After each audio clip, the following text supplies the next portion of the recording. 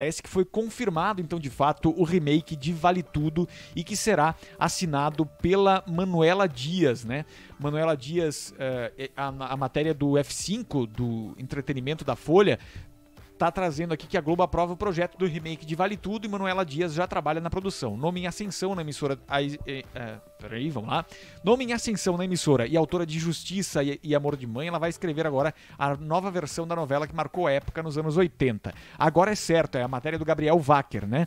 A Globo vai produzir uma nova versão de Vale Tudo. Novela produzida entre 88 é, em 88, né? E considerada um dos maiores clássicos da televisão brasileira. Antes um projeto em desenvolvimento, a ideia já foi aprovada pelo comando dos estúdios Globo, liderado por Amaury Soares. Manuela Dias, autora de Justiça e também de uh, Amor de Mãe, trabalha então no roteiro deste remake. Vamos lá então, deixa eu seguir aqui com a, a, informação, porque a Manuela Dias vai refazer essa novela, que é uma novela muito política também, né? muito histórica nesse sentido, e que infelizmente o nosso contexto não mudou tanto nos últimos 30 anos, né?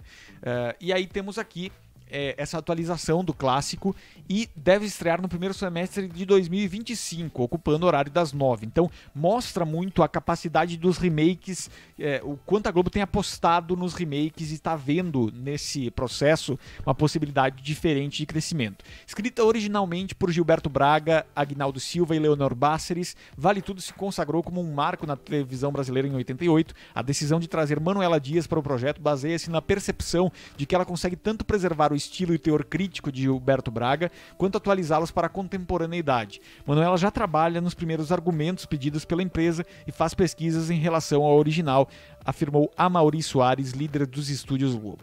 A produção o processo de seleção para o elenco e equipe técnica ainda está em andamento.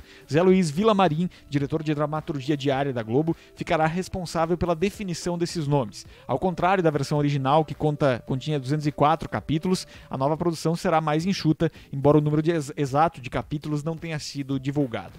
O remake surge também como uma estratégia de mercado. A versão de 88 possui imagens muito escuras, o que recentemente dificultou sua re reexibição em TV aberta e sua venda para o mercado internacional. A nova versão tem o potencial não só de re reavivar o interesse do público, como também ser um produto atrativo para compradores internacionais. A novela já passou por três reprises, uma na Globo em 92 e duas no canal Viva em 2010 e 18. Em 2022 houve uma tentativa de incluí-la no Vale a Pena Ver de novo, mas a baixa qualidade das imagens fez com que os planos fossem descartados. O enredo de Vale Tudo segue a trajetória de Raquel, originalmente interpretada por Regina Duarte, que é abandonada pelo marido e precisa criar sua filha, Maria de Fátima, Glória Pires, uh, sozinha, né? Mas enquanto Raquel quer sempre fazer a coisa certa, Maria de Fátima quer cortar caminhos e se dar bem. Para isso é influenciada pela vilã Odette Reutemann, vivida por Beatriz Segal.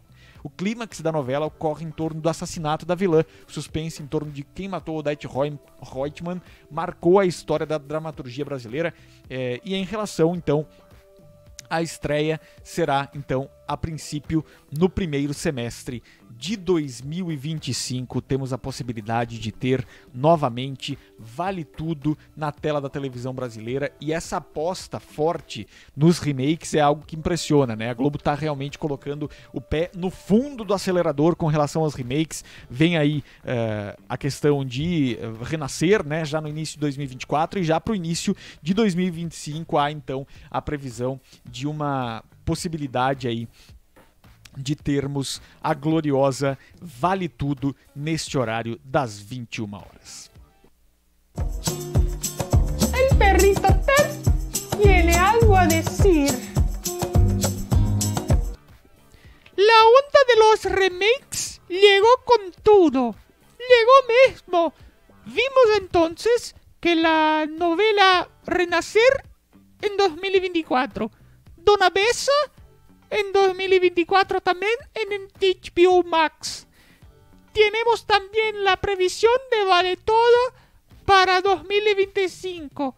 Entonces, estoy acá anunciando en primera mano que nosotros en Redeguesla de Televisión tenemos la intención de hacer un remake que es también un spin-off.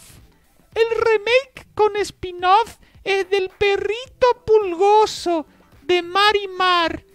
Yo voy a vivir la nueva versión de Pulgoso para eso voy a ser caracterizado como, como un perrito muy, eh, como dice, lleno de terra y también pasión. No, eh, terra, eh, playa, y no lo sé.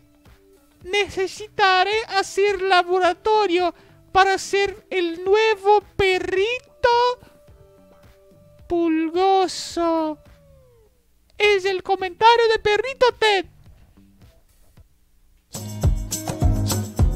Yo hablo lo hablo mismo. Olha, Perrito Ted fazendo aí promoções pra vocês e promessas que eu não sei se podemos cumprir. Mas tá aí Perrito Ted dizendo que teremos o remake de Pulgoso El Perrito, que é o Pulguento, né, da novela Marimar. Muito bem.